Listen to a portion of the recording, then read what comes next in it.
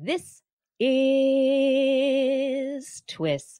This Week in Science, episode number 921, recorded on Wednesday, April 12th, 2023. There's bacteria in your eye.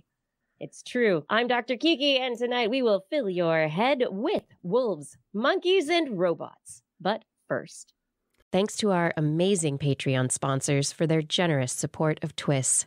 You can become a part of the Patreon community at patreon.com slash this week in science. Disclaimer, disclaimer, disclaimer. There is a constant effort underway to understand everything. Not everyone knows this, and not everyone cares. Most humans do not question the world around them. They wake up, go to work, come home, eat a quick meal, yell at the television, and go to bed. Human reality tends towards fantasy identity wrapped up in tribes, teams, and the products that they use.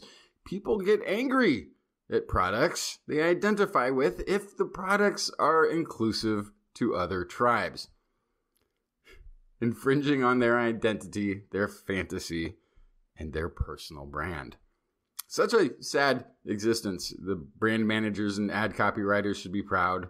Their work has had a lasting impact. There is another world taking place where people are using their minds to unlock every mystery, to observe and record every detail, to understand every interaction in a complex and intricate reality. A world where the brain is not branded by logos, where the mind is free to see and explore, to think, question, and go beyond. A world where we gather together to talk about all of the interesting things we have discovered this week in science coming up next. I've got the kind of mind I can't get enough. I wanna learn everything. I wanna fill it all up with new discoveries that happen every day of the week. There's only one place to go to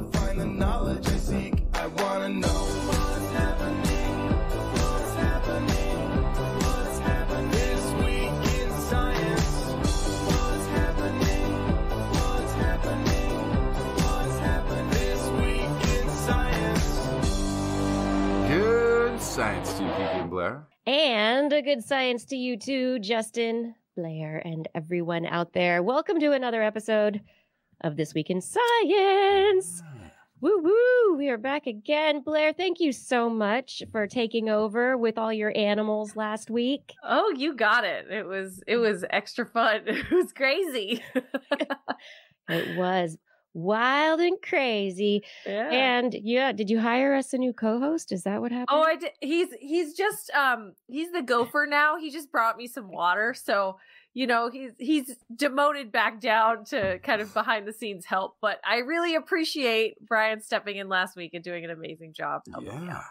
yeah. Fantastic. It was fantastic, fantastic. I hope if people out there have not yet seen or heard the episode, that they go check out last week's episode.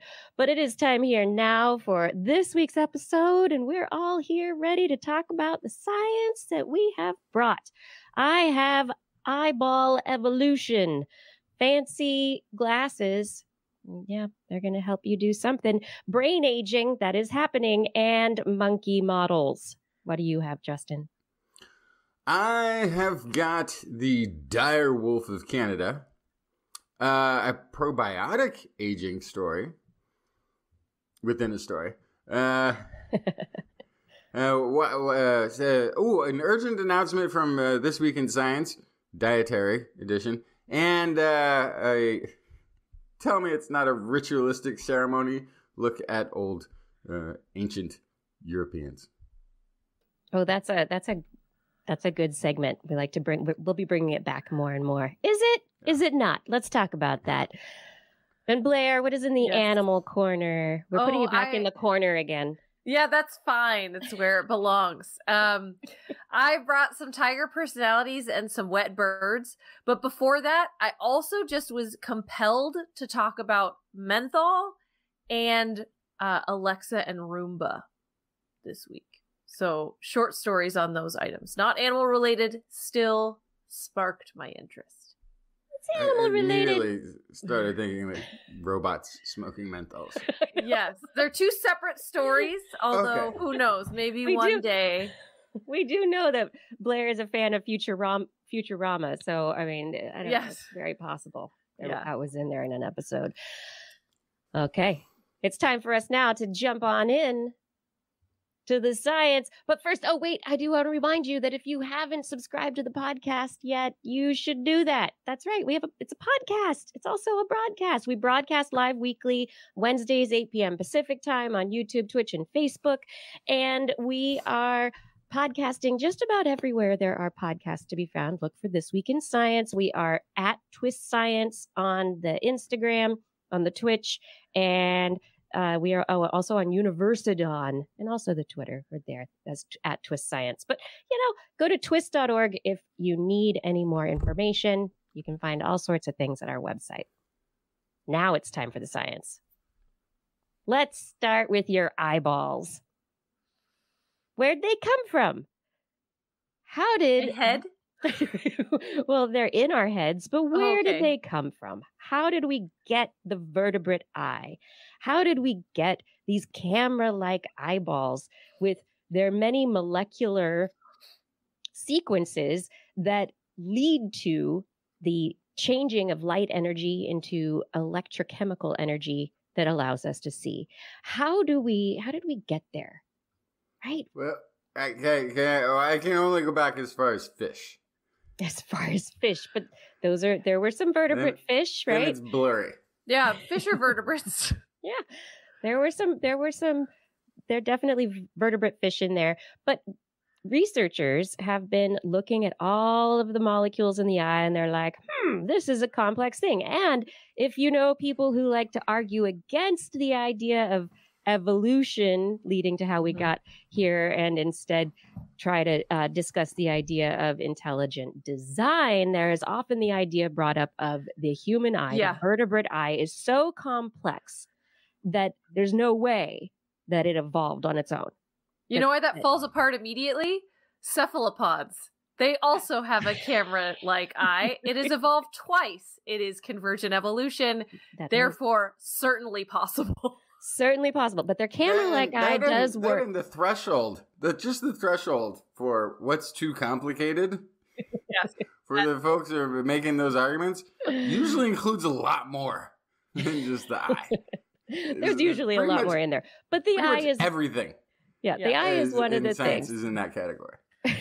So, uh, the vertebrate eye, yeah, it is pretty complicated. There are lots of uh, of mechanical steps, lots of little tiny molecules in the eye that go flip, flip, flip, flip, and they they have to go up one place and change structure, and then they have to be brought back to another place to go back to their original structure. So the light comes in, and the the molecules go, bah, and they change their structure, and then something has to put them back so they can go again, and so that the whole thing can happen.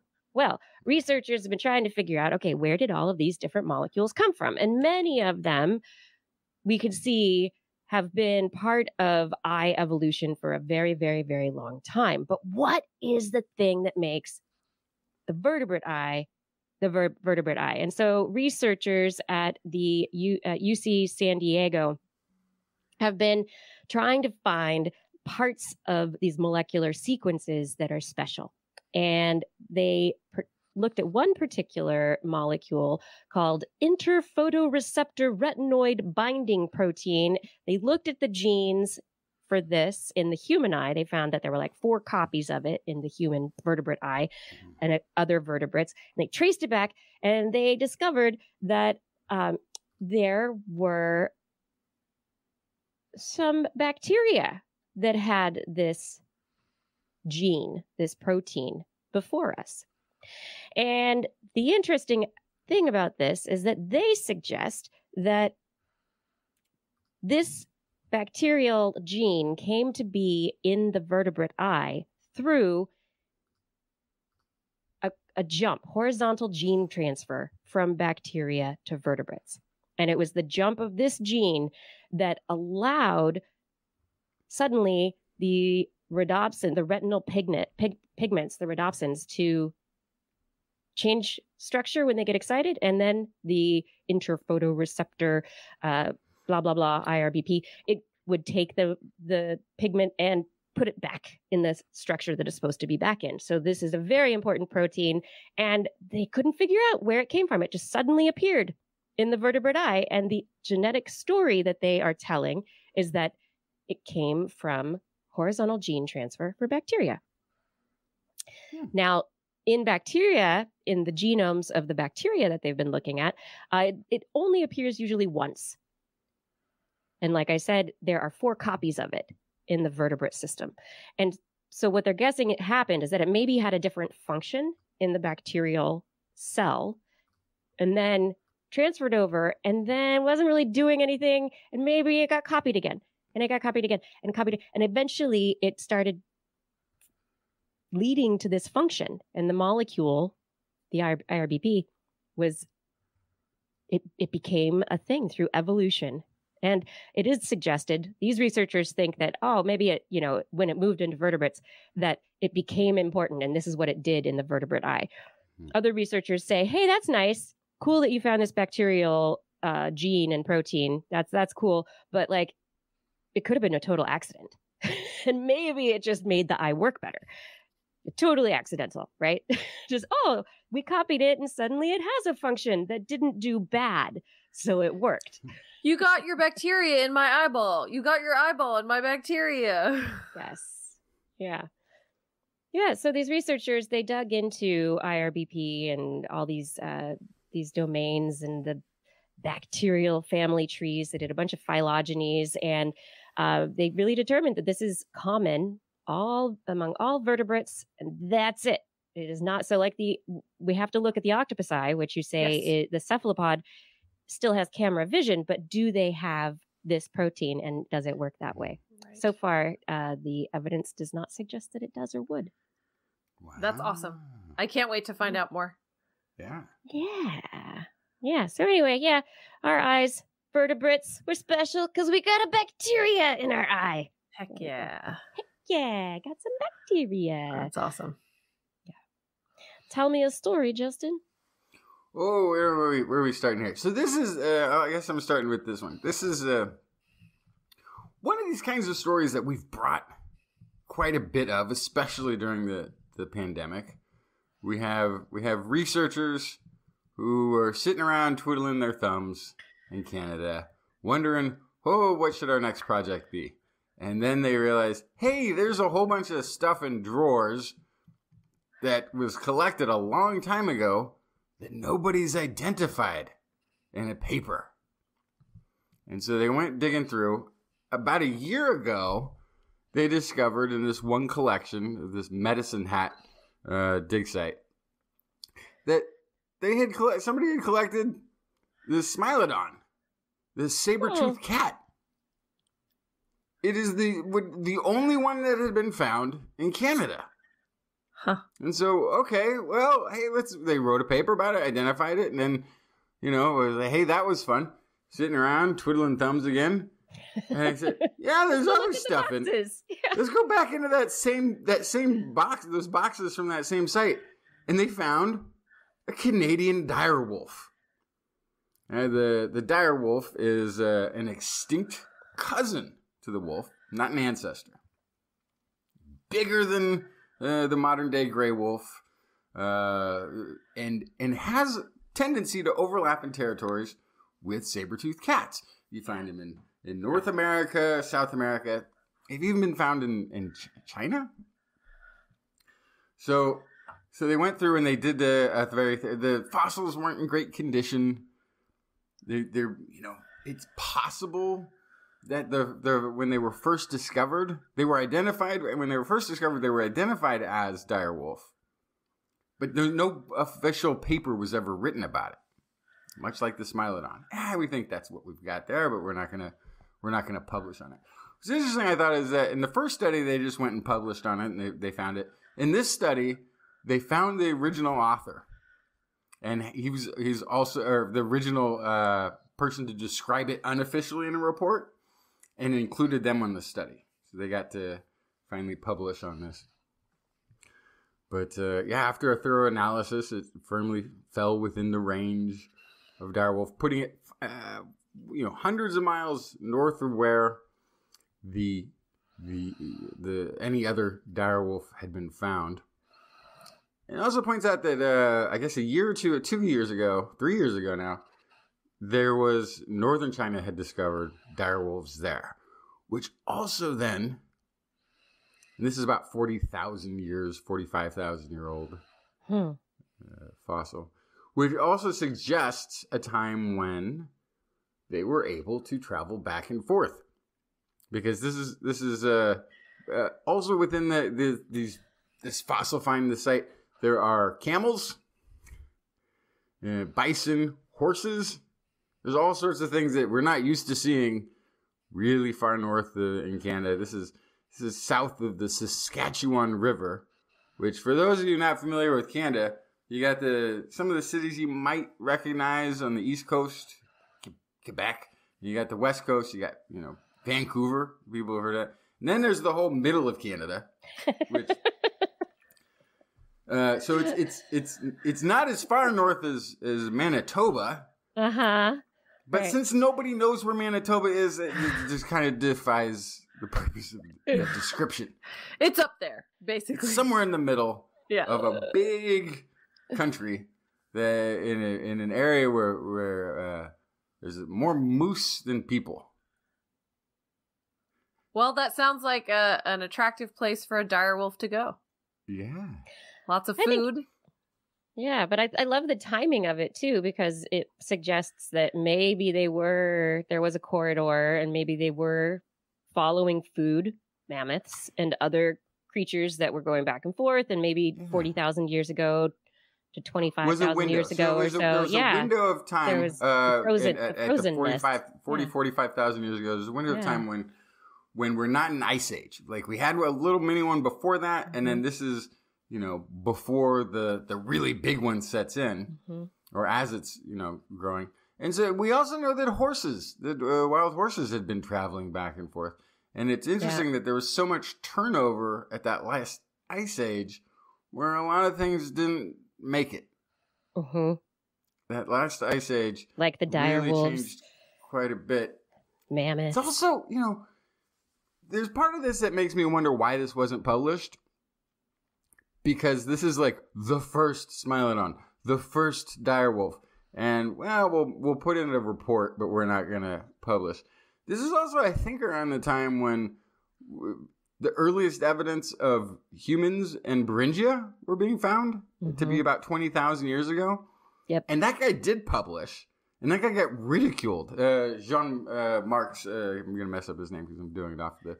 But, Hmm. so maybe they're like, eh, let's not be first. right. I don't I mean, know. I- there comes a certain point if you've done it before and you've been through it, you're like, oh, you know, maybe I'll just keep it to myself until there's more evidence, until somebody else comes up with something. But yeah, just the size of these of the the fossils that they found, it's they're so cool, and that's neat. What a wonderful find. we may have crossed paths. The there was my Yeah. point. The the first people coming into the Americas, you know, uh, if they were beating the Ice Age, which is which is what a kind of now a more prevailing theory is. Some of them might have gotten here before the Ice Age kicked in completely. That's when this fella was traveling around up there too. Oh, would have loved to see ancient man battling the dire wolves No, Or the not battling. left- no, or the running. leftover scraps of mammoth. trying to trying desperately to avoid. Yeah. No fighting. Yes, no fighting, no fight. We don't a like dire wolf. fighting. Let's- Uh-uh. let's not- Domesticating the dire wolf? yeah, yeah, possibly. Losing fingers in the process? Do tell. Yes. We aren't domesticating, but we do like to have a little bit of fresh mint flavor every once in a while. Oh, yes. Uh, Tell me what's up with particularly, mint. yeah, if you vape or smoke. Uh, this is from the University of Pittsburgh, and they found that adding mint flavor to e-cigarette liquids produce more vapor particles and are associated with worse lung function in those who smoke. Um, mint and menthol, despite kind of the the push to reduce flavored e-cigarettes and vape options in the United States, they're still really popular. There's about two and a half million youth who reported smoking e-cigarettes in 2022 alone. And so um, these flavored vaping situations still persist. And it turns out that the mint, mint slash menthol flavor is actually really bad for you. Uh, they before they went uh, uh, went with kind of mouse or human studies, they were actually able to make a d- robotic system that mimics the mechanics of human breathing and vaping. So they were able to pump different kind of vapors into that. And they showed that commercially available e cigarette liquids that contained menthol generated a greater number of toxic nanoparticle or microparticles, excuse me, compared to menthol free. And that uh, when menthol vapors were taken in, there were shallower breaths, there was poorer lung function compared to non menthol smokers. That was regardless of age, gender, race, pack years of smoking, or the use of nicotine or cannabis containing vaping products. So, the long and short of it is smoking's bad for you. Vaping is not much better. Mint and menthol, really bad. So stay away from that stuff. But I wanted I, menthol has always been considered bad, right? Like when Right, we, I think we've heard about is- menthol cigarette cigarettes. They're like, ooh, menthol cigarettes. Yeah. sell them to get more people to smoke cigarettes, but then those are really bad for you. And why would Right. menthol vaping be any better? Right. I, and I think menthol was really popular in like the 80s and 90s and then they kind of they they put out this information and people stopped using it but now it's inching back in because of flavored Mhm. e-cigarettes and vape vape pens. And so bec- part of what creates the flavor the different flavors is menthol. And so it's bringing menthol back into the fold of the smoking conversation, which is a huge bummer, but it's an important time to remind everybody that menthol's really bad for you. Yeah. I mean, is it? I, I is- feel like I feel like this is on on the borderline of, of of you know if you're if if you're gonna smoke crack, don't use a tinfoil pipe because that one will cr- at like just don't smoke. What is wrong with people? yeah, that's the. That is definitely the first step. Don't It's- smoke. Yeah. Well, and I think part of this is um, that vaping was kind of brought to the table as this miraculous Alternative. alternative. And the more we learn about it, the worse it actually is. It's not this miracle alternative that is infinitely better than cigarettes. There's all sorts of these other problems, not to mention the fact that the marketing of this better alternative was actually a backdoor to be able to market to children again.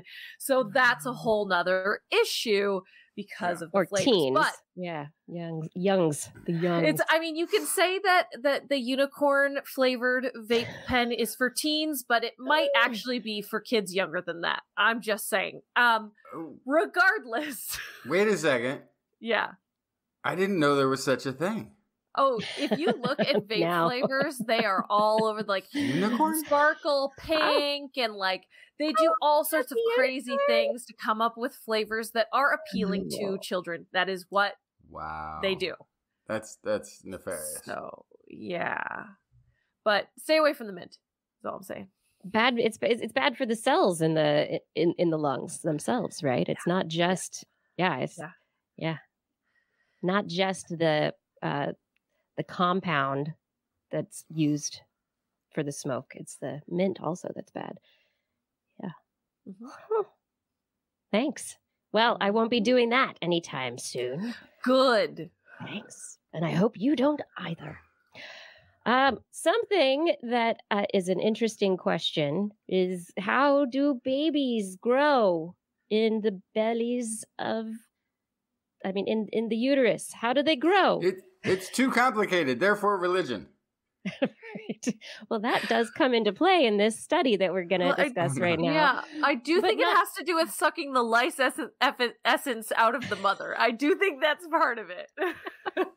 You you may be currently slightly biased, Blair. Um, I mean, I wouldn't be one to say.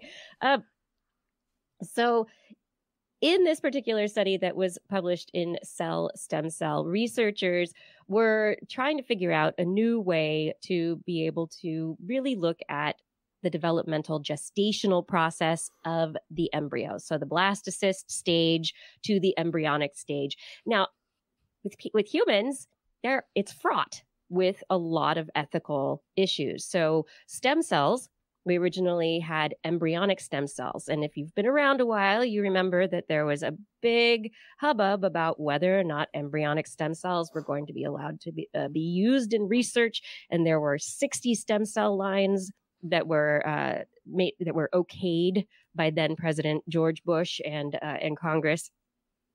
And the rest of them, it was like, nope, we can't use any more of those embryonic human human embryonic cells, no more, because we can't take those cells because that is fraught with issues with uh, ethics related to the religious some religious parts of the religious community and others as well. So then people said, oh, but pluripotent stem cells. If we can train skin cells or you know, hair cells or whatever, if we can train them to going back to their baby state, maybe then that'll let us know what's going on. But we found out that there is are there are differences, essential differences between embryonic stem cells and pluripotent stem cells that have been told to go back to that embryonic light state. They're not exactly the same and they don't progress in the same way, so there are different different molecular signaling cascades that are in play. There are different different cellular factors that are in play in these cells during the the blastoid blastocyst early gestational uh, part of the process. Now, so we can't go into people and be like, "Hey, how's your baby doing?" You know, because that would interrupt the process. You can't use the embryonic stem cells. The pluripotent stem cells are okay, but they're not doing great. And there's only so far that we can go looking at mice and rats who are not really related to people that closely. Pretty closely, but there's enough there are lots of differences. So these researchers said, "Hey, primates. Let's see what we can do about primates." And in this study, they uh, they presented their work in getting macaque monkeys, cynomolgus monkeys, uh, and using their embryonic stem cells to create blastoids, which is the very early, early ball cluster of the embryo when you've had the the fertilized egg that has split and split and split, and you suddenly have eight cells instead of just a single cell. Um, that's where you have your blastoid. Now, the blastoid with these embryonic stem cells, they followed it. They're like, oh, okay, wait, look at it in a dish. Look at it go. They're growing. They're doing what they're supposed to do. Woo woo, go, blastoid embryos, go. Grow, grow, grow. And that was very exciting. And then they were like, okay, now we need to take a look at these blastoids in vivo in a uh, in an IVF situation. So they uh, they transplanted the these blastoids into mother monkeys to see what would happen. And lo and behold, all of the hormones were just right in the macaque's uterus, and the blood of the mother was spouting off all the right hormones. The blastoids progressed to the phase that's called gastrulation, which is where they start to create a, a little little dent in them. Like they get a they get, start to they want to turn into a little donut, basically. Mm. So the blastocyst, they followed it to the gastrula. And so this was very exciting because they showed that they could get to a previously not documented stage of the gestational development.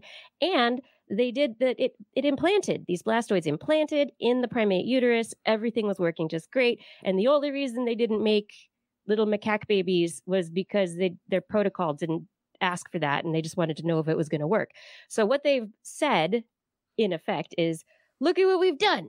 We have created a new model system that gets around a lot of the ethical quandaries related to human embryonic stem cells and allows us a new model to be able to understand gestational development that we have never been able to really see before. So, nice. Yes. Cool.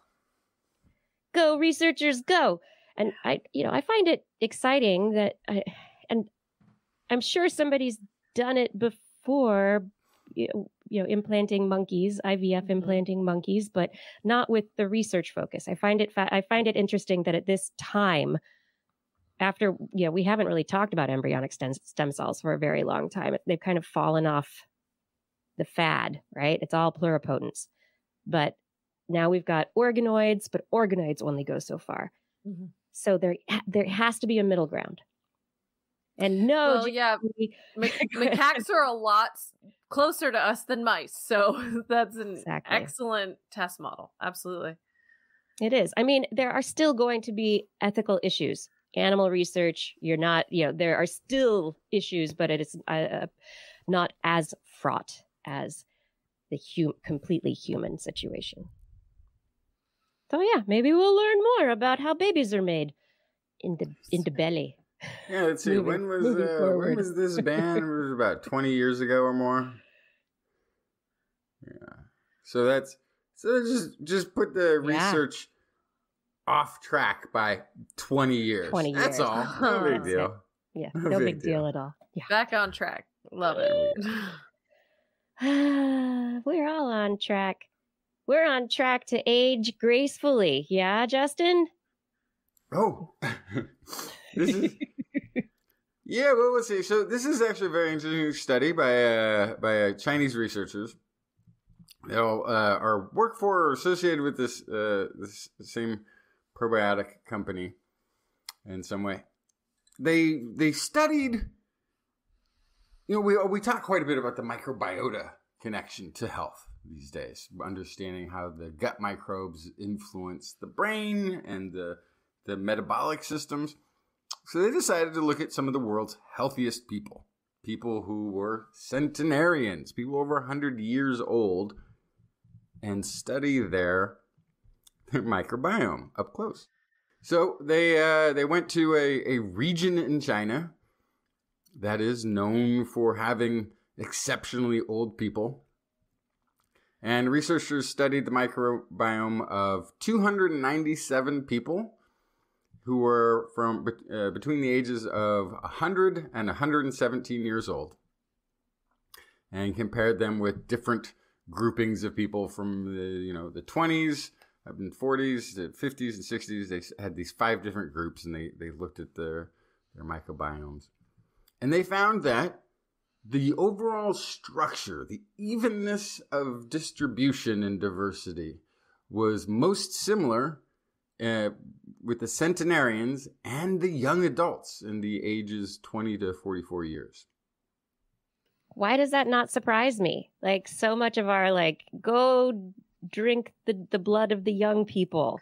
Like I mean if you're aging that well and you haven't gotten into your senescent phase, like you're going to right be healthier all around, right? This is Yeah. interesting. Okay. Yeah. So so uh so this is in the Guangxi province uh where these folks come from and they've they're they're renowned. They had the oldest person in the world at one point, uh possibly the oldest person who's ever lived at 127 years old. Wow. Now, officially they're not the oldest person in the world. Officially. Guinness Book Guinness Book of World Records went to go and verify oldest Mm. person in the world. w- they were dead by the time they got there. Yeah. Uh, no, actually, this I think this is when the person was 125 because that Oh. was uh, the the current record is I think 122, 122, maybe 123. Did it predate birth certificates? so yeah, that birth certificates. This is a very rural farming community area of China, and birth certificates didn't show up till 1949. And in fact, most people didn't get IDs for decades after that. And in this case, had gotten an ID at some point, but that was the only one. It didn't get updated any at any point. So it was this old faded. And it was also kind of interesting because the woman had given birth to her son at the age of must have been 61. No. Yeah. So which which was not even the story at the time, which would have been a big story. It would have been. I just want everyone, while you're just for a quick pause, I just would like all the podcast listeners to imagine Blair's round saucer eyes at the concept of being pregnant So- at 61. Anyway, So there are cultural differences between East and West. Mm. In China, there is a higher status for people of older age. Mhm. and less of an obsession focus on youth. So you have everybody in this study, in fact, current study, over the age of 72 would have had to have self identified, self reported their age at some point when an ID came about. When somebody came down and was like, oh, we're going to give everybody an ID of some form. That could have been in the 70s, that could have been in the 80s. They could have been, you know, 30, 40, 50, who knows. And the, the, to, to keep this off the focus off of China for a second, my own, in going back and doing ancestry research, I discovered that one of my grandmothers, between the, this, the census, which would take place every 10 years, would only age eight to seven years. Right. If she was 25 in one census, she was 32 in the next, and then only turned 40 the next time they came around. Another My grandmother, I think she was about 70 when she started counting backwards. So every birthday after, she got younger. so so another thing is I don't know if anybody had noticed currently the oldest person on the planet is 116 they did a study on aging where they had somebody who reported being 117 years old and that was not the focus of the story or their study. The oldest person in the world wandered into a study on aging. Nobody mentions it. So part of this so part of this is a problem. Part of this is just sort of a China problem because China also has a, a good amount of mythology built up around people who who work in these farming communities uh, uh, uh, area who you know work from morning to night and get good night's sleep and- and that's yeah. how they live a, a long life. There's another problem with this study I found, which is that everybody working on this study is connected to a probiotic company, which also creates a detection system Ah, for detecting what your microbiome is. And while at the end of this study, the researchers say there's important clues here that could help us develop, uh, and we're going to isolate the different bacteria and test them in animals because we think there could be a pathway to creating a probiotic for anti aging longevity Mm. within this cohort, which is interesting because that is something that the company that they work for already sells, Oh my. already has claimed to be providing probiotics that reverse aging and prolong life. So, So this study has has, has several issues. Uh, Yeah. I mean, so and, the, and, the, know, the number one take home is okay. Maybe the aging, you know, the cohorts, the youngest and the oldest. cohort they have an unverified, completely unverified cohort Eight- of centenarians. Right, one. not verified. They have yeah. conflicts of interest too, and it's Yeah. published in a very shady uh, sounding journal, Nature Aging. I don't know if uh, this has very much prominence anywhere in Uh, the world, but Well, it's nature, it's Nature. I And- know. and you can It's access Nature. you What can happened? access this article for thirty nine ninety five. It's- Yeah, hmm yeah, A bargain. Yeah. What a deal. It's, So- it's if, if you add uh, six monthly payments of nine ninety nine, you'll get the supplements also. Yeah. So it's it's one of these interesting. oh, like I'm not I'm not trying to bash on Chinese research, but there's certain areas where research meets uh, Culture. propaganda. and propaganda. Yeah. And the propaganda is that people of this region live to an exceptionally long age. You also can't really. This is why there's there's a tremendous amount of artifacts found for early hominins uh, throughout China. But the reason we probably don't hear a lot of them reported is because the the the propaganda that goes with all of the anthropology in China is that the Chinese people are a separate people that evolved separately from the rest of us. Hmm. And that this is the evidence. And that's why we don't probably hear a whole lot about the anthropology coming out of China, is because it has to get through the state filter. And so this is another situation, I think, where there's a filter. Otherwise, or I mean, I could be totally wrong, and the oldest person on the planet wandered into a study on aging, and nobody mentioned it. Nobody. There are a lot of people in China. I mean, probability wise, Probability wise, it should be China that has the Yeah, oldest yeah. people. Right. But, But it, it, Well, if it it's could be not that they didn't verified, make and you're, us think about it because it's not verifiable. well, but they listed it. Can can And- you really go and and make an entire side point of your study about how you have the oldest person in the world if you have no proof? right. Well, and, and can you can you claim that you're studying 200 and something centenarians when you cannot don't really verify their age at all? Right. Yeah, and how so how do you how do you differentiate them from younger age groups from, you know, so are Mhm. your age are your age groups accurate at all? Anybody over And that's good, 72 years old, and there's two co- uh, there's two cohorts there that they they are cohorts. There's two groupings of age above that before they got to centenarian that they cannot verify age. And there's plenty the- of places it's in the age. world. Yeah. Uh, the Well, oldest woman in the world right now, I th- actually, I think she's in California. She was born in San Francisco in the early 1900s, where there were records kept. You know, there's people born in France, uh, England, uh, Sweden. You can go back to the 1800s uh, for some of these folks, easily, or, and have perfectly good uh, government kept records of birth. This rural farming community in China is not on that list, but will be, will be in about 26 years. Yeah. 23, 23 years, is that right? But until then, 26 years. In 26 years, we can begin to identify centenarians from this region, but not before. But not before. And in the meantime, yeah, just take the probiotics you've got and don't necessarily trust the Well- company promote com- company funded study Yeah. that pri- finds a thing and yeah, So this is this is I, I, I know I'm taking too much time with the story, but this is also going to be a problem because as much as like Blair, you've been talking about, I want to have my microbiome diagnosed. Do you remember Merck and uh, osteopenia? mhm, yes. where a Merck whole created a, category. a bone Yeah. detection device that uh, created a, a, a non osteoporosis diagnosis that recommended a drug that Merck made.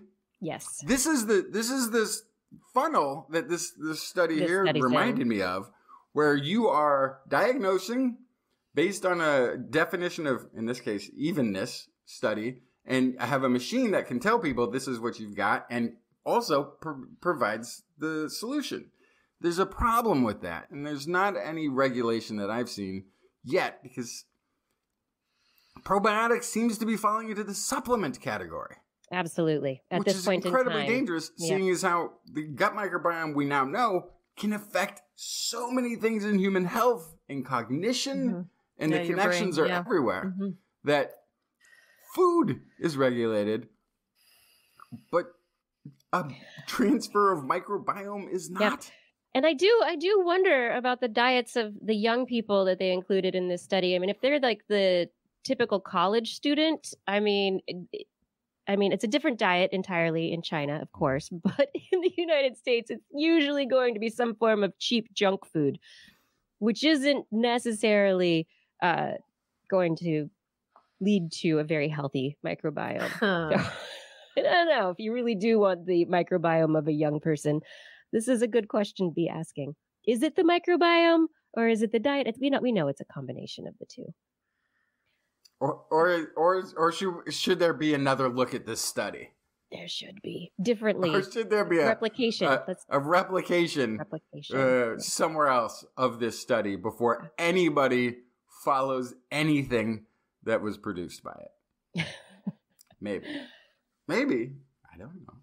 Blair, would you listen to your Hmm. kids? Would you listen to your kids if they if they were telling you how to treat a robot? Uh, I think that you should. Uh, I love this story that came out this week from Duke University, where they they interviewed four to eleven year olds about Alexa and Roomba. Uh, they recruited 127 children. They were visiting a science museum at the time, and they watched a 20 second clip of Alexa and a 20 second clip of of a Roomba. Then they were asked questions about the device. They found that neither Roomba nor Alexa deserve to be yelled at or harmed. but those feelings dwindled as they got older, which is interesting. Um, they also recognized that Alexa was more human like than Roomba, and they were more likely to as- kind of prescribe emotions to Alexa than they were to Roomba. So it was definitely related to the fact that she talks, of course. Um, they both just they decided that uh, both Alexa and Roomba probably aren't ticklish, probably wouldn't feel pain if they got pinched. They probably can't feel physical sensations like people do, but they gave Alexa, as opposed to Roomba, high marks for mental and emotional capabilities, like being able to think or getting upset if someone was mean to it. Um, so the part where this kind of starts to fall apart a little bit is that in in the study, one 10 year old said it was not okay to yell at technology because, quote, the microphone sensors might break if you yell too loudly. Hmm. Whereas another 10 year old Logical. said That's a, I it like was- that. I, I Yes. like a nice uh, logical approach. Yes, another 10 year old said it was not okay because, quote, the robot will feel really sad.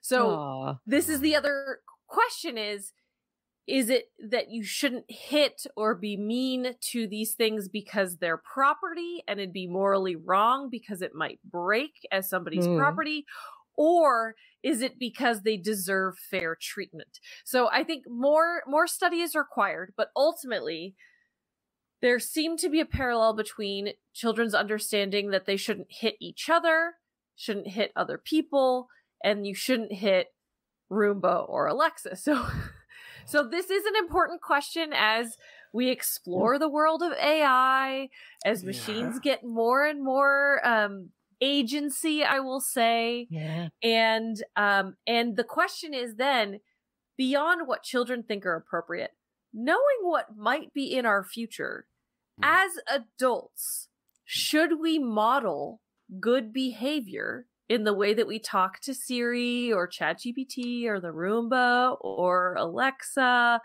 I think kind of- so, but I'm terrified that it's going to be uh, learning from the Oh. masses. Right. Yes. So that's the other question is like, sure, these things aren't going to respond in a particular way because of how you treat them now. But as we learn more and more about these AIs and safeguards are kind of hopefully carefully being removed, they're showing some preference, some of these chatbots. And um, as preference develops, do personalities develop? Do these things happen where, you know, it matters how you treat this technology? And are toddlers and and um and young children kind of ahead of the game with us on this one? Are we going to get left in the dust where the AI will take side. care of us because we're rude to them? and is it and is it both at the same time? Yes we can always model good behavior. We can always be what you know a, a model of what we want to see our children doing in the world right? But they're going to be getting information and modeling from others in their environment as well. So you're not the only one unless you're all alone having your baby in a house by yourself with nobody else and no internet or anything ever you know there there are other influences Yeah. on your children that you can't control. But Yeah. then additionally, there is there's the fine line of also teaching your children that hey, this is a, you know the Roomba Roomba moves, but it's it, it's Right. a robot. The Alexa is you know might be talking to you, but it's a computer program that's figuring out the best answer to, to right tell you. right and is it it's- especially important to yeah. draw that line because children should not inherently trust ai at least right now because the truthfulness issue is still a huge problem right so like w- and ai still also doesn't have morality safeguards where like they might Yeah. suggest a bad thing to somebody Yeah. so there's all sorts of concerns So I- there I I think the toddlers are aware of it. If you listen to their answers, what, what they said, the dark side of this is that they believe that the AI or whatever, the robot, can have its feelings hurt and that it cannot feel pain. And what is a more frightening yeah really thing that you can conceive of of something that's angry with you and cannot be hurt? oh yeah that's no good no. So the That's other thing. I was thinking about with this together. too is Mhm. like as as we continue, especially with chatbots on the scene, will there be a time at which you're not 100% sure if you're talking to or typing to or interacting with a Yes. human or an AI? You won't know the difference. And so you have to treat all of those things like you are talking to a human Yeah. because you don't know. I all I already do that. I already I'm like Yeah. I don't know. I yeah, I'm talking this. to this live Yeah. chat on Chewy where I buy my dog's dog food and I need to make sure that I'm friendly and nice and I ask how their day is Yeah. because they could be an AI or they could be a human. I don't know. And you know, you always want to err on the side of caution, you know, world robot domination and all. Be nice to the future overlords. And but at the same time, teach your children how to stand up and talk back to them. Yes. Yes. Oh my goodness. What will Yeah. tomorrow bring? I don't even know. But the kids seem to get it. That's Well, the this- the kids the kids are getting it the kids are smarter than everybody thinks uh, so the what will what will tomorrow bring well this month brings new fancy glasses for people who um potentially want to just have the glasses read their lips these fancy glasses are ai equipped and they are also equipped with what they're calling echo speech.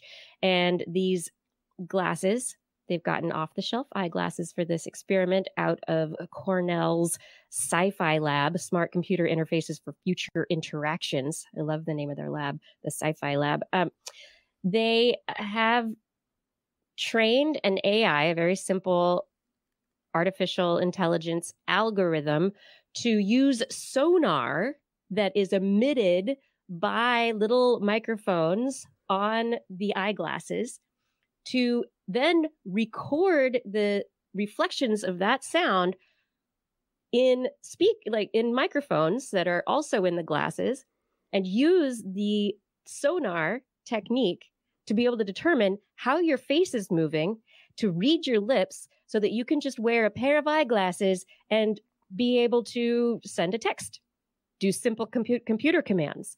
Um, they've so far trained it up in some 30 or so uh, commands that they that the eyeglasses can read.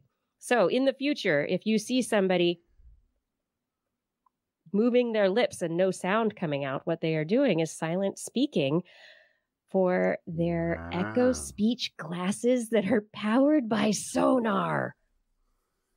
That is interesting and bizarre. This is not where I thought this was going. I thought it was actually going to go in a different direction, which I suppose is the next logical step and may already be doable, which is if you had glasses that could read lips and would tell you what people were saying as you So looked that's- at them. Right. So that's the that's another potential future, right? Being able to determine the facial movements of other people. These are currently it's you train it. So you Yeah. go through the the training commands and train the AI And it's Um, using sonar of your face sonar of your face. Yeah. to translate. That's amazing. Yeah. Yeah. So they've used uh, this lab has come up with a bunch of different desi- designs. They've got some wearable earbuds that do another uh, acoustic sensing technique that also tracks facial movements. They've made like a, a, a necklace, a pendant that uses infrared, and they also trained it up to do sonar as well, so that you'd have a necklace looking with the pendant looking up at your face and you, uh, using the movements of your face to again command um, another device. Um, and uh, originally, when they'd started this whole line of engineering technology development, they were looking at cameras, but they determined that cameras use too much battery power. Um, and also, there's a lot of data involved. And so, if you want to protect your privacy without having to send your data up to the cloud to be analyzed by an algorithm, these devices the battery life on the eyeglasses lasts almost an entire day. And additionally, it can be uh, connected wirelessly to your smartphone. And the smartphone does all the processing. The alg is an app that the AI is an app that runs on your phone and can help you interact it you know with your phone or with a computer or with other devices and um yeah But the, the, the thing is, it's such a specific need. I'm trying to like place The for this over. Yeah. No, I mean, I mean, I mean, the only thing I could think of so far was wanting to take a note in a class without making sound Mm-hmm. or texting on your device because that seems like that's just as, like Instead, you're just copying what somebody else has said after they say it without Yeah. actually saying the With- things your they said out loud and with your way. lips. Yeah. and then do- do people make a like a, a like a sub vocal sound while they're doing it like So I'm sure people do make a sub vocalizing sound as well. And so that's another question is why not just use sub vocalizations to be able to use these commands? Um, the it's idea, clever it's very clever i just don't know yeah, I mean, the idea uh, for who it would be for is this could potentially be the kind of technology that would help people who, um, you know, can't produce speech.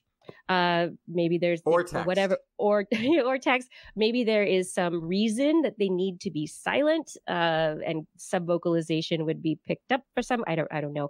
Um, some specific examples that they brought up were very simple ones, such as you wanting to uh, send a message to um, a waitress in a, a crowded cafe or or restaurant, or maybe you're wanting to send a text to your friend, um, but it's very loud, so you can't actually have a conversation. But so you can face to speech text. or you could them. text them This sounds like James Bond stuff to It me. is James Bond stuff. It's gonna be great. That's what it sounds. That's the best application as I can see it. Spy stuff. Yeah. So anyway, yeah. well this this will be helpful at least for any of us who get uh, accidentally uh, frozen and then thought out into the future and then We take will- public transit and see a bunch of people mouthing things we'll It's we'll understand what's The future. what's really going on the future is just going to get weirder socially people i mean it was weird at first when people were walking down the street talking to themselves oh jitter Just- jatter jibber jabber everywhere now they're going to be talking to themselves but not making any sound while i do it, it yeah it's going to be Well, because then this is this was the the mediary step, right? This is when the people got the earbuds. People then it just seemed like there was crazy people also talking to each uh, themselves because they didn't have the phone, so you didn't know that they were in a conversation with somebody. So you always had to like, is that uh somebody talking to themselves, or is that somebody who's on the phone? And then then people started texting, and the silence. Oh, the silence that fell over the earth. except those for those people people who have like the their sound on and Oh the responsive texting so it's Yeah, I think that used to be a sounds. default, right? I don't Yeah. think it is anymore. yeah That's so anyway another iterative stage. be nice to Alexa and Roomba, and also the future is going to be full of sonar glasses that read your face. Ah, fun stuff, everybody. This is This Week in Science. We hope that you are enjoying the show. And if you are enjoying the show, please tell a friend about it today. If you're really enjoying the show, please head over to our website, twis.org, and click on the Patreon link. Patreon is how we fund the show. We are listener supported. So, listeners, viewers like you, you can help us maintain TWIS and keep on going every week, bringing you a new episode. You head over to Patreon, click on that link at twis.org, and join our little community there. Choose your amount of support.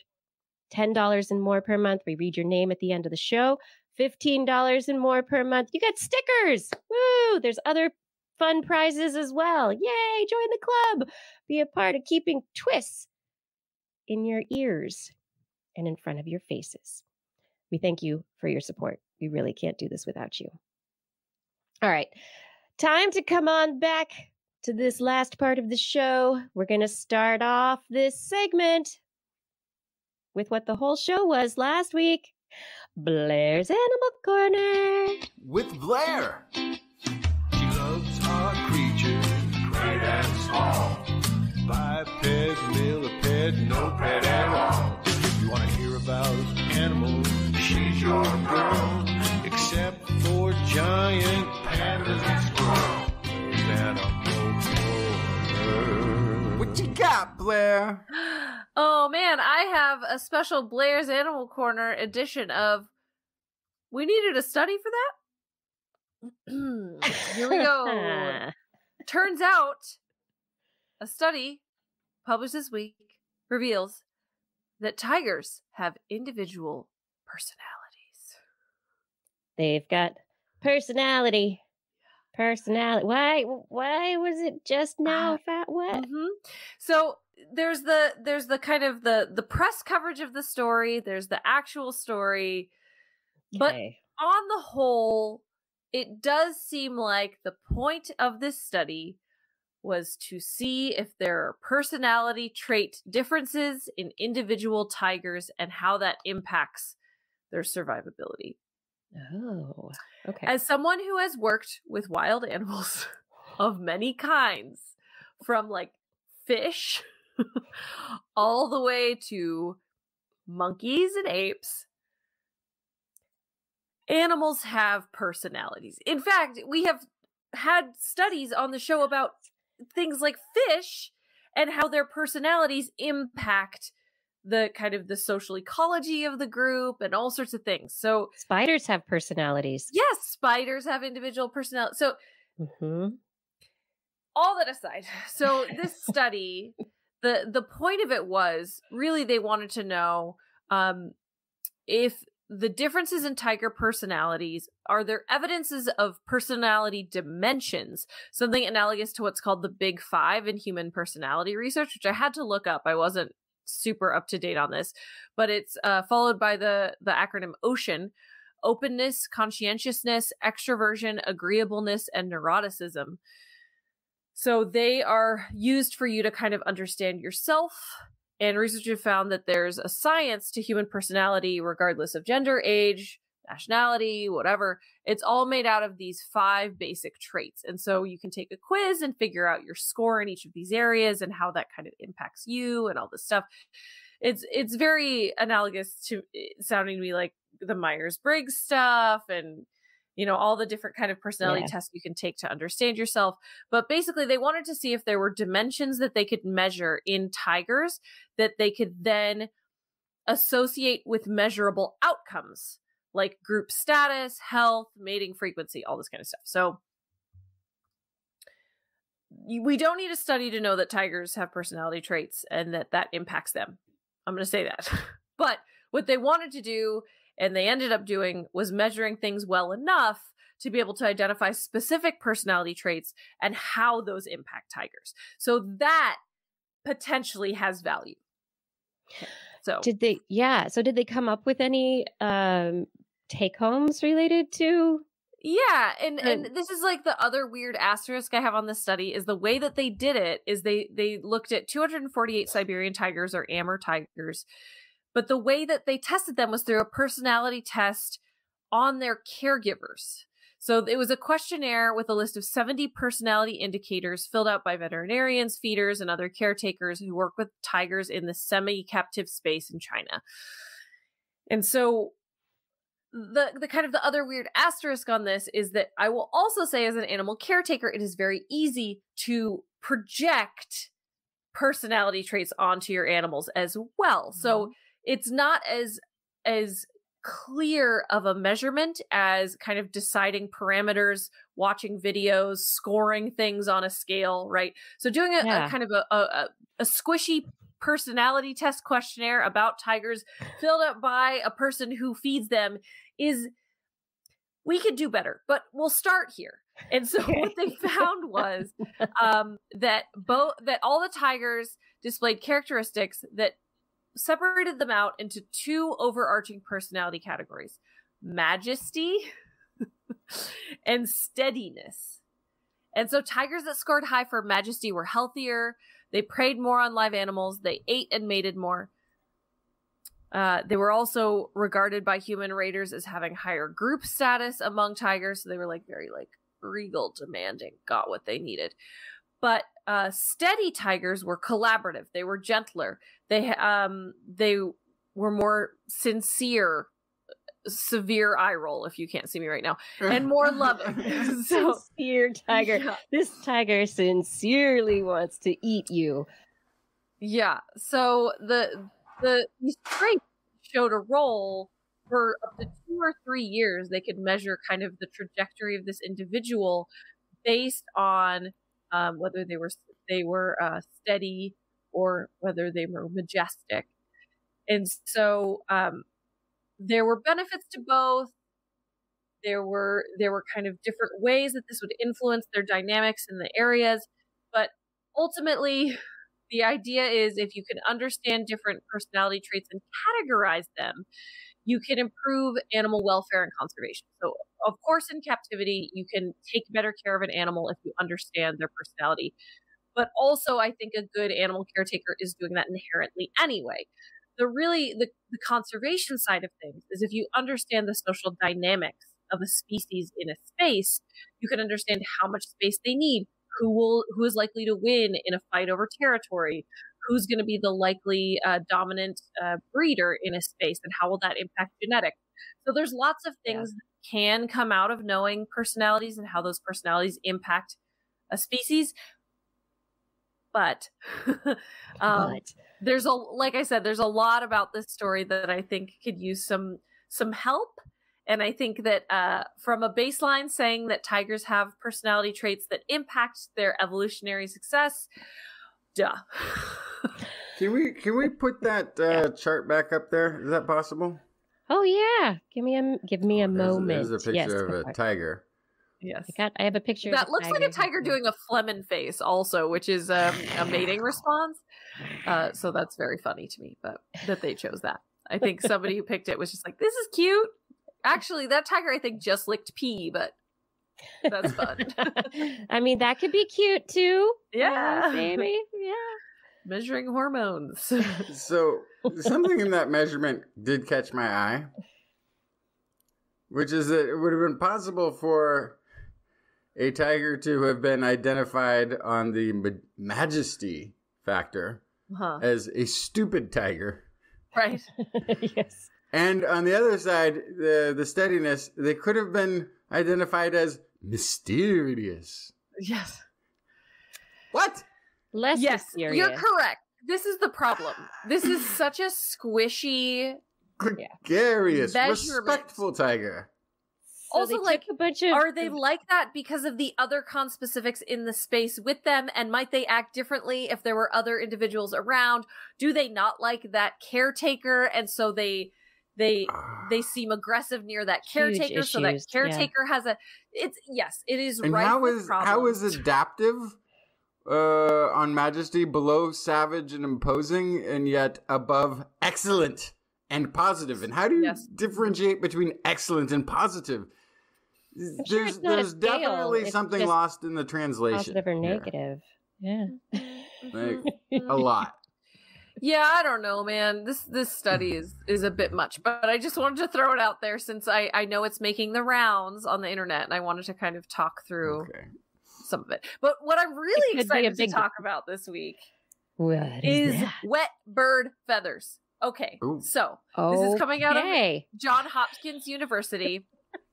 And this is one of those really cool studies looking at natural form and function through evolution and saying, wow, this is really cool. How does it work and how can we use it? And so uh, this is looking at the sand grouse, which is a desert dwelling bird from Africa. They nest about 20 miles from watering holes because watering holes are where all the predators go to drink. And so they have to stay kind of far away um, so that they don't get eaten. And when they have chicks, the adult males will fly to the watering hole. I love this. They will gather wa- water in their kind of breast feathers. They just kind of like like a sponge. In, yes, they they sponge up water in their breast feathers, and then they fly home with it. They they gain about fifteen percent of their body weight in water, and then they keep most of it during the 40 mile an hour flight home that takes about a half an hour and then when they get home they uh the the chicks can can drink water from their chest. So wow. this is this is a crazy thing that happens. Kiki is sharing a video right now. If you're listening to the podcast i suggest you check out our show notes and look at this video because it shows how not only are these feathers extra absorptive, like they they suck up water like nothing else, but they hold on to it with amazing efficiency. So from an engineering perspective, everyone's like, how does this work? Yeah. So what they store did- that? Yeah, so they used high resolution microscopes, 3D technology. Um, they they used scanning electron microscopy, microcomputed tomography, light microscopy, and 3D video- videography. They looked at the shafts. The shafts are a fraction of the width of a human hair. And then the barbules, which are the individual little things coming off the feather shafts, are even tinier than that. And so they're extremely delicate and then they, had to kind of dunk these feathers in water and film it with all these different techniques to try to figure out what's going on. They bend very specifically. They form protective tent like clusters and tubular structures actually in each barbule capture the water. They like put a lid on it to hold it there. And I'm sure there's some aspect of um, of surface tension that's involved as well. So the Mhm. feathers they Yeah. wrap around, and as they're doing that, they basically hold a drop of water in and act, you know, create something of a straw. Yes. Yeah, no, absolutely. So it's it kind of has the has the sucking and then it also has the the contain the holding onto it. It doesn't come off. Um and so How does it hold They- on to it? yeah. They they first kind of discovered these feathers over 50 years ago, but didn't have the technology to look at it so up close to be able to try to mimic it in real life.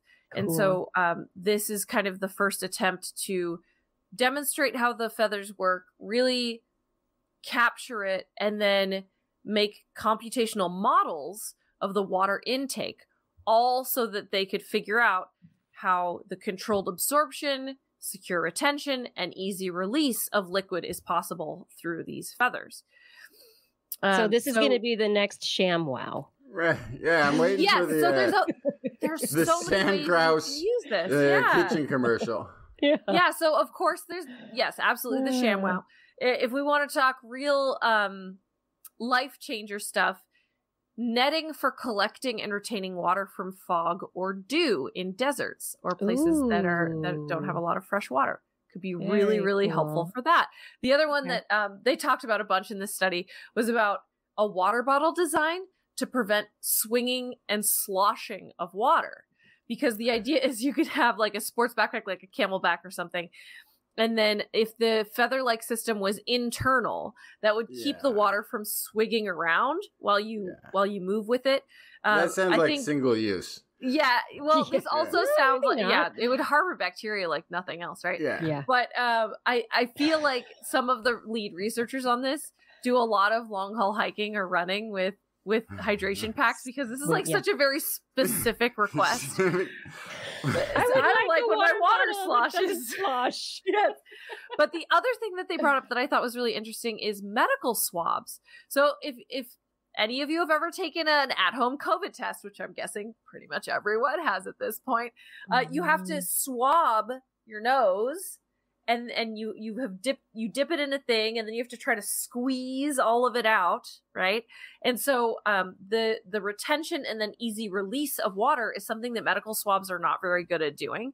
So this could create a better medical swab efficiently soaking up liquid and easily releasing it. And so the next step for this uh this team is to print 3d structures to try to mimic this to see if they can actually replicate it with with a 3D printed version. So I I I hope it works. It seems like they have all the information they need, hopefully.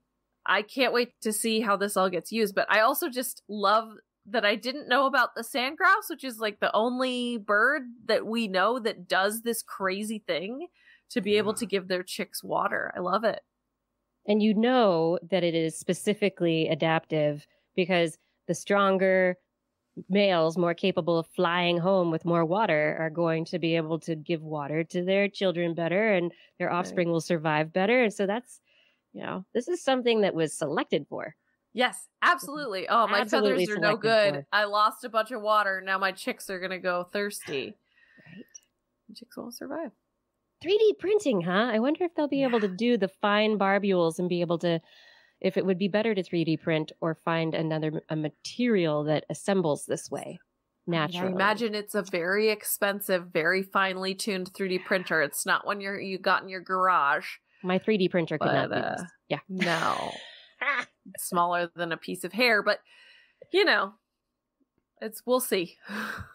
So, Sloshy so water we're gonna bottles. make we're gonna make sandgrouse feather like ma- uh, materials using spider silk. Yes, there we go.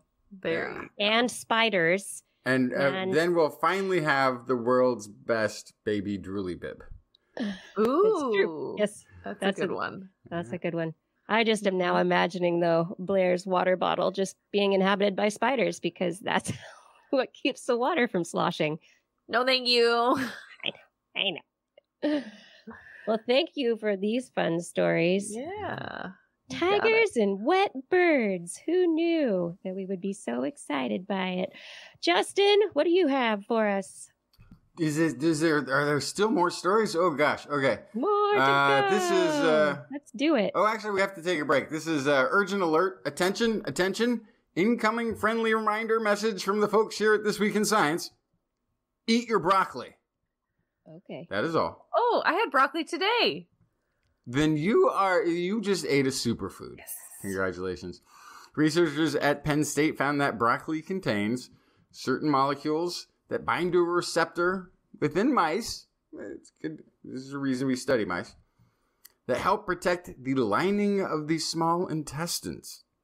This is quoting Gary Perdew, uh, agricultural sciences at Penn State. We all know that broccoli is good for us, but why? What happens in the body when we eat broccoli?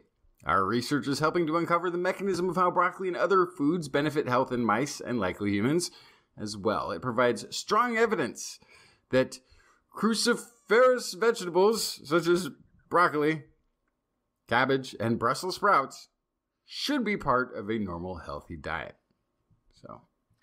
So, Is it's- it just the vitamins? I feel like that's, that's we already know about this. Like there's So no, vitamins, this there's is a- iron, there's fiber. It's more. There's is more to the story. So this is it has uh oh gosh, a molecule called aryl hydrocarbon receptor ligands that binds to hydrocarbon receptors, which is a type of protein uh, called a transcription factor. This binding found, they found initiates a variety of activities that affect the function of intestinal cells. So this has to do with how much uh, moisture passes through the into the from the gut into the body. Uh, so yeah, basically, just eat your broccoli. But they they did test this in mice, and they found in a diet containing fifteen percent broccoli, which for humans would be three and a half cups of broccoli a day. That's a lot going- of broccoli. Seems like it's Maybe going we a can little watch hard. broccoli. Maybe It's we not could. that much too much, but it's a little. It's a little. That's a lot. That's a whole meal of Every broccoli. day? Eh, over a day, so you can break it up. Half a cup of broccoli in the morning, then a half a cup of broccoli for brunch, Broccoli for then a half breakfast. a cup of broccoli. Oh, we're not even halfway there yet. Broccoli every Right. day. I don't know. I think there are other foods in addition to broccoli that could be eaten in this yeah, way. but Brussels sprouts. So you've got to fry those for them to basically have any decent flavor. And then them. you're negating it by Right. frying it. Yeah. But so the the the point in over this is an overfeeding of broccoli, It's but it's mice because it, it- also. this is how you highlight effects. yes. uh, in a, an animal model, and they found that the compared to the group that didn't get broccoli, the the the part that ate their version of three and a half cups of broccoli per day, fifteen percent of their diet in broccoli a day, were much healthier mice. Uh, they had altered intestinal barrier functions, reduced transit time of food in the small intestines, decreased number of globulate cells and, uh, protective mucus, and decreased Paneth cells and ribosome production in the ones that didn't get it. So, Eat your broccoli, kids. eat your broccoli, everybody. Okay. And just like Dana Carvey used to do, Make sure you're chopping broccoli. Nobody's Chopping good. That's a reference. That's a reference. That's a reference I from know. So long ago. 30, 40 No. years ago. Long ago. Shush, shush. Okay, next story. Hush. Uh, an analysis of strands of human hair from a burial site in Menorca, Spain, indicates that ancient humans used hallucinogenic drugs derived from plants. These findings are the first direct evidence of ancient drug use in Europe, which don't say ritualistic use. Don't say ritualistic use. Don't say ritualistic what are they going to say? May have been used as part of ritualistic ceremonies. Great. It's like they can't help themselves. It's like previous evidence of prehistoric drug use in Europe has been based on indirect evidence, such as the detection of opium alkaloids in Bronze Age containers, and the findings of uh, some drug plant rich in uh, plants in ritualistic contexts, and the appearance of drug plants in artistic depictions. Hey, I'm throwing a ritualistic context this weekend, and I want to invite you. Oh, you can make it? Oh, that's great. Hey, my artistic depiction device is on the fritz. Would you mind bringing some cave paint? Oh, okay. I'll, I'll see you around sundown. yeah, why exam- why is it that that uh that when we find out that uh, ancient people used drugs, it has to be for a reason? It must be. It must be that this anthropologists never get invited to parties. this is the only thing that I can under like they have such a like like we we, talked about this previously. There was a study that uh that uh these little owl depictions that were found Yeah. all throughout Europe and all these different sites were were ritualistic burial tributes uh, is what they had been called for. And then at some point we figured out uh, these are likely kids toys made by children that they played with you know. But but for the longest time these are ritualistic ceremonial da, da, da, like everything and it doesn't matter where in the world you are it does not matter where in the world you are It's maybe it's for as long as we have our written, you know, Western human history. The special drugs have been monitored and only been in use by the religious hierarchy, the top of the religious hierarchy for ritualistic religious use. I mean, you know, this But is when I know, but this is the story. in our recorded history who, what what what religion is there where there's priests and shamans and they're the only ones doing the drugs like this this is not how any of it ever wor- has worked Only, there, the, I mean, yes only there the are precious few there are traditions that use uh, drugs in a you know ritualistic Semi- way. ceremonial way but Mhm. that's in the current day and age where they're revisiting things that people used to do. And if it wasn't under that, by the way, for some of those, the only way they're allowed to continue those practices in the modern world is by calling them ceremonial rituals. Otherwise, Yeah. it would be forbidden from doing so. Right. So, anyway, this is uh, researchers examined the strands of hair from a cave in Menorca, which That's was a first lot of occupied hair. about That's quite 3,600 years ago. They conti- so it was kind of interesting, and it was contained. There was a chamber of the cave that was used as funeral space until around 2,800 years ago. Previous research suggested about 210 individuals were interred in the chamber. However, strands of hair only from certain individuals were dyed red, placed in a wooden horn container, and decorated with concentric circles, removed to a separate sealed chamber further back in the cave. And these hair strands were dated to about 3,000 years ago. Interesting. Hey, wouldn't it be like wild if thousands of years from now somebody could look at our hair and figure out that we were high? like they would use like I don't know, like a special kind of water or something. I'm I'm gonna have to set some aside in this groovy container and like put it way in the back and dye it red so they It is- know what Yeah, to look at okay. when they find it. So it is. This is. This is. Why would you put a, a, a mat of over five centimeters of hair that you've dyed in a special carved container. Time capsule. A time capsule. okay, fine. Yeah. I don't know. I just That's my. I'm Yeah, curious Fada about says it's an ancient uh salon.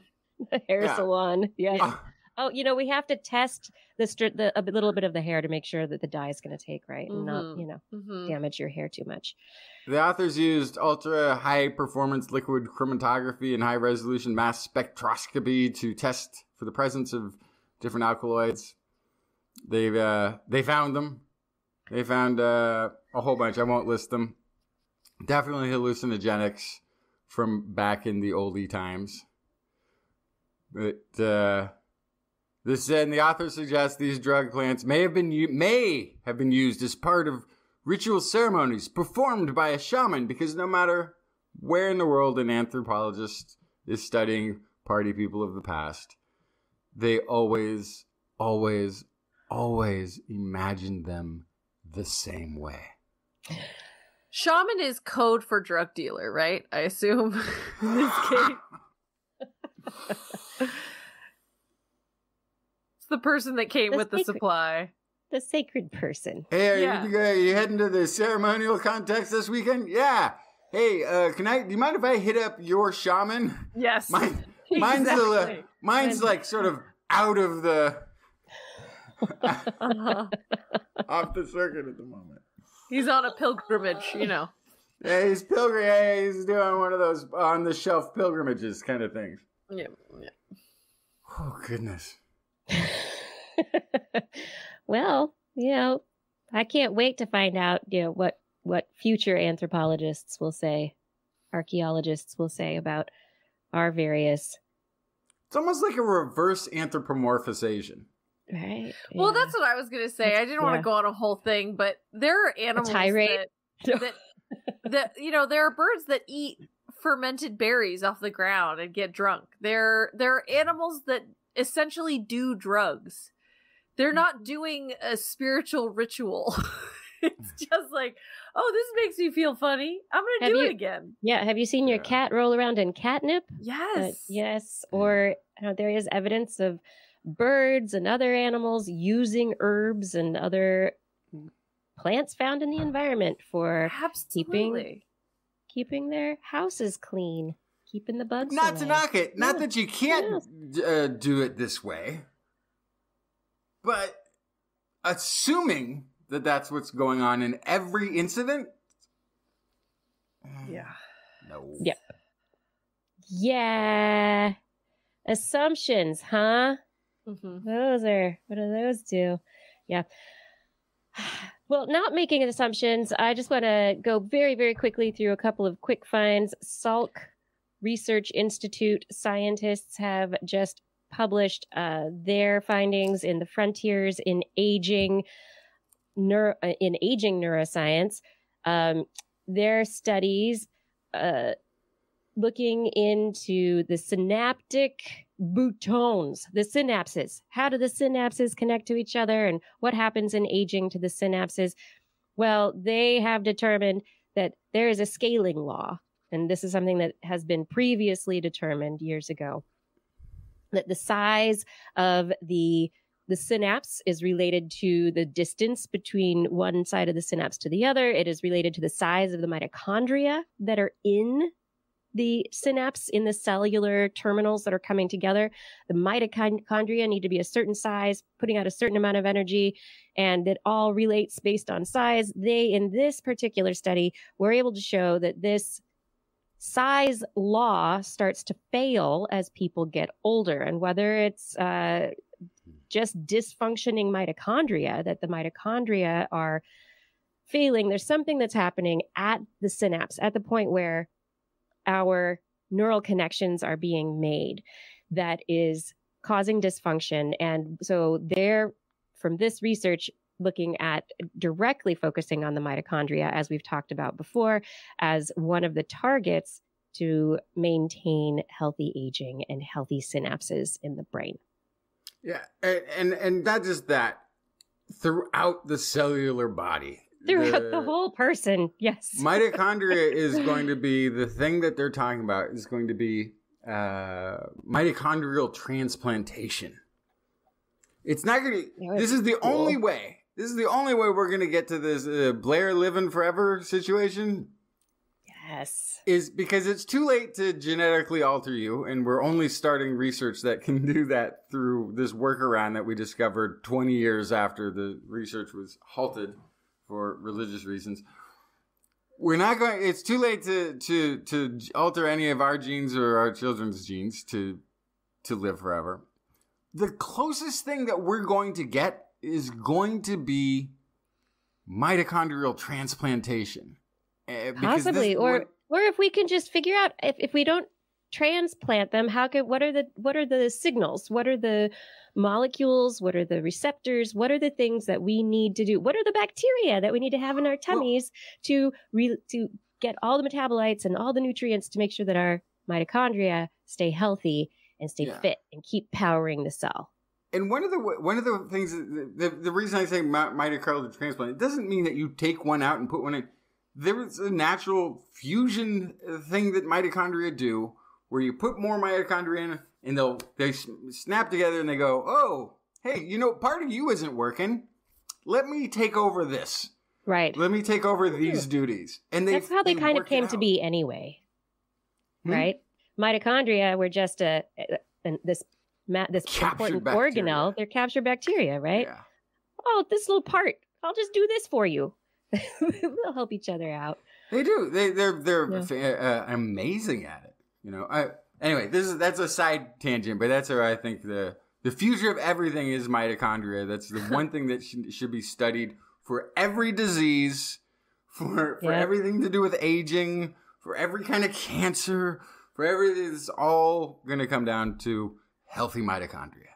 So Yeah. promoted from the powerhouse of the cell to the future of everything. Got it. The powerhouse of the cell, but it's it's not just the powerhouse. but it's also the the everything else all it's like a lot of the the crucial proteins and and it has uh, genetic information, regulatory right? There's- RNA yeah, there's a whole bunch of all cool. of that is really dependent on a healthy Yes. functioning mitochondria which has this amazing ability to heal with the introduction of of uh, healthy mitochondria Yeah.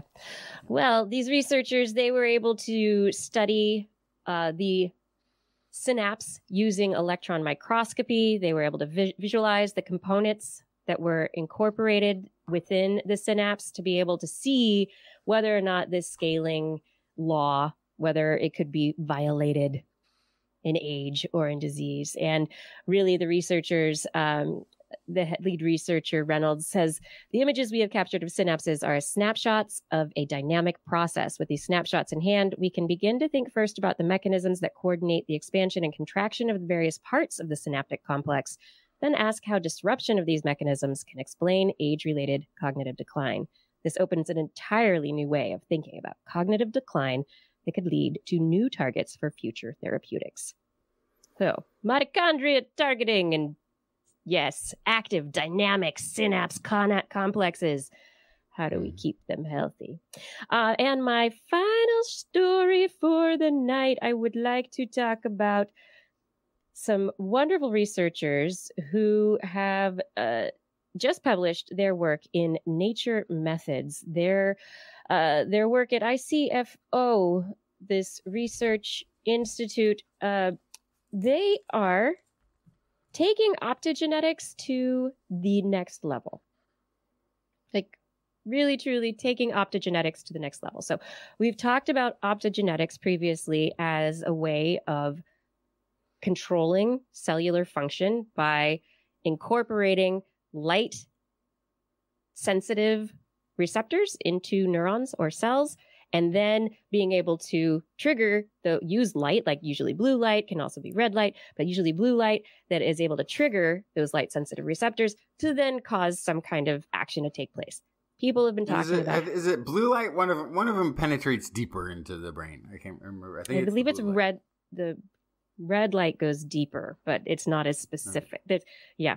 Anyway, the um, they looked at this and they're like, "Huh, that's interesting." Okay, so we've got electro, uh, electrical transmission, electrochemical transmission in neurons and synapses. We've got uh, light transmission that's happening in the synapses. But why don't we put these together and we'll make neurons that emit light to trigger other neurons? So let's make light a neurotransmitter. Let's turn photons into neurotransmitters. Wait, doesn't that just turn us into robots? Sounds like it, yes. Uh, so, this is the photon assisted syn- synaptic transmission system. And it is based on uh, lucif- luciferase, which is found in lucifer, luciferin, which is found in fireflies and is the light that can be emitted. And then also channel rhodopsins, which is are the receptive light, re, uh, light receptive uh, molecules that proteins that are in our eyes. And so these luciferases and channel rhodopsins in different neuro in different neurons were able to work together to create actual circuits in a living organism in C. elegans, the little worm, the lab model, the worm that could. Mm-hmm. Um, they uh, they initially created these C. elegans worms with a with a nutrition nutritional deficit, so they didn't have a certain uh, glutamate uh, nu- uh, nutrient in their diet, and so the fast system in the C. elegans led to they, they booped the worm they booped the worms on the noses to stimulate the neural like sensory process which is like a pain signal. Hey boop i boop your nose worm. And so then the worms would want to move away from the nose boop and they couldn't if unless this unless this particular system activated. And so they f- they fixed the nutrient deficit by creating this system that worked and they were able to yeah so yeah yes they were able to put different systems together and it's i just i'm amazed by this the whole concept of what they've done here i mean but yeah.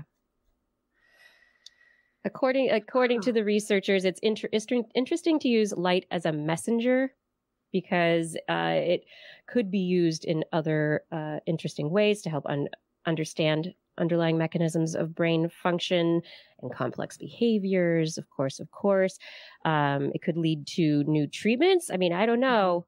Do yeah do we want that? Uh, could it help repair brain damaged brain surgeries without invasive surgeries? It's a far way to go from C. elegans to human brains, Oh, but uh, so far. absolutely, that's what I first thought of was just kind of repairing brain damage by replacing neurons with essentially fiber optics. with fiber op- it, it is like fiber optics yeah. Yeah. so yeah could you create uh yeah could you create a system where you know you're not a worm where it actually would work to con- you know neuron to neuron light transmitted instead of chemicals Isn't that how Data's brain worked in Star Trek? He had a positronic brain, I remember. But whenever they opened up his head, there were always lots of lights flashing. Yeah. Yeah, first thing we need to do to improve humanity is get rid of the brain. just get what what no don't get rid of the brain we like the brain The Just brain a- enhance with flashing lights, as you often do. Look, I do not need my brain flashing like the computer next to me. This is It's it's more like a rave, you know. distracting, distracting enough. I know. Yes. Ah. yeah. So anyway, uh, yeah, researchers using light as neurotransmitters. And that's where they're going now, and it's very exciting. And I don't know what are they going to do with it. That is the question. And it's Who it's not called a rave anymore, It's by the not. way. Oh, it's a ritual. Ritualistic context. You're what right. Now, You're right. what they now call it. I'm sorry. A thousand pardons. ritualistic music M- music session i don't know Ritualistic context session. session if you like. have we made it to the end of the show We've I done it. We may have. I think we have made it as well. Thank you, everyone, for joining us for another episode of TWIS. We are so glad you've been here. I want to give a few shout outs to people who help with the show. Fada, definitely thank you for your help on social media and show notes. Really wonderful to get your help getting the word out about the show. Gord and Aaron Lore and others who are in the various chat rooms, thank you for being there and being friendly. To all the other chatters, thank you for being there too and for chatting with us. And we love it that you're here and the YouTubes and the Twitches and the Facebooks and you're here while we are and we get to interact, even though we don't always interact with you. We're watching, we're paying attention. Uh, additionally, Identity 4, thank you for recording the show. And Rachel, thank you so much for your work editing. And I would love to, of course, thank our Patreon sponsors. Thank you to Teresa Smith, R- James Schaefer, Richard Badge, Kent Northcote, Rick Loveman, Pierre Velazarb, George Chorus, John Radnaswamy, Carl Kornfeld, Karen Tazi, Chris Wozniak, Dave Bunn, Vegard Shefstad, Hal Snyder, Jonathan Styles, aka Don Stylo, Ali Coffin, Reagan, Don Mundus, Stephen Elbron, Daryl Myshak, Stu Pollock, Andrew Swanson, Fredis 104, Sky Luke, Paul Ronovich, Kevin Reardon, Noodles Jack, DVD Youngblood, Sean Clarence Lamb, John McKee, Greg Riley, Mark Hassenblow, Steve Leisman, Ken Hayes, Howard Tan, Christopher Rappin, Richard, Brendan Minish, Johnny Gridley, Remy Day, Flying Out, Christopher Dreyer, Artyom, Greg Briggs, John Atwood, Rudy Garcia, Dave Wilkinson, Rodney Lewis, Paul, Rick Ramos, Philip Shane, Kurt Larson, Craig Landon, Sue Doster, Jason Olds, Dave Neighbor, Eric Knapp, E. Oak, Adam Mishkon, Kevin Parachan, Aaron Luthen, Steve DeBell, Bob Calder, Marjorie, Paul Disney, David Simmerly, Patrick Pecoraro, and Tony Steele. Thank you for all of your support on Patreon. And if you would like to become a Patreon sponsor, head over to twis.org and click on that Patreon link. On next week's show, We will be back Wednesday, 8 p.m. Pacific time, and again at 5 a.m. Central European time on Thursday. Broadcasting live from Thank our you. YouTube and Thank you. Facebook channels and from twis.org slash live. Want to listen to us as a podcast, perhaps as you fiddle with the positronic brain of your Android friend? Just search for This Week in Science wherever podcasts are found. If you enjoyed the show, get your friends to subscribe as well. For more information on anything you've heard here today, show notes, links to stories will be available on our website, www.twis.org, where you can also sign up for a newsletter. You can also contact us directly. Email Kiki at Kirsten at thisweekinscience.com, Justin at twisminion at gmail.com, or Blair at blairbaz at twis.org. That's me. Just be sure to put twist, T W I S, in the subject line, or your email will actually get sent to a Roomba who's very angry at us and will never tell us about it. Oh no. You can, I guess, still reach us via the Twitter, where we are at TWIScience, at Dr. Kiki, at Jackson Fly, and at Blair's Menagerie. We love your feedback. If there's a topic you'd like us to cover or address, a suggestion for an interview, a haiku that comes to you in the night, please let us know. We'll be back here next week, and we hope you'll join us again for more great science news. And if you've learned anything from the show, remember. it's all in your head. This week in science. This week in science. This week in science. This week in science, it's the end of the world. So I'm setting up shop, got my banner unfurled. It says the scientist is in, I'm gonna sell my advice. Show them how to stop the robots with a simple device. I'll reverse global warming with a wave of my hand. And all it'll cost you is a couple of grand. Science is coming your way.